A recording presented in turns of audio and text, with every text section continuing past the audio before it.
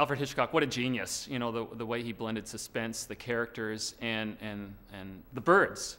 You know, it's just what a, what a captivating story. And, uh, you know, as a youngster watching a movie like that, uh, you didn't want to watch it and you practiced pulling your coat over your head.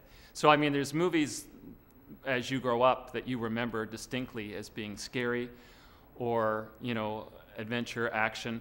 Um, the Birds were one of those sort of uh, mainstay movies of my childhood.